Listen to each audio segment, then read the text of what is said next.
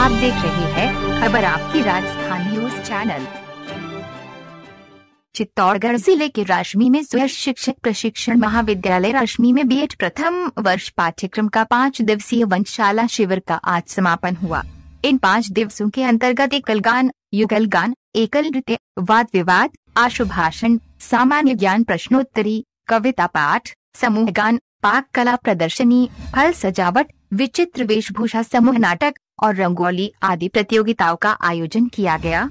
प्रशिक्षणार्थियों को शिवासी दल, प्रताप दल, सुभाष दल, लक्ष्मी दल, मीरा दल के रूप में विभक्त किया गया।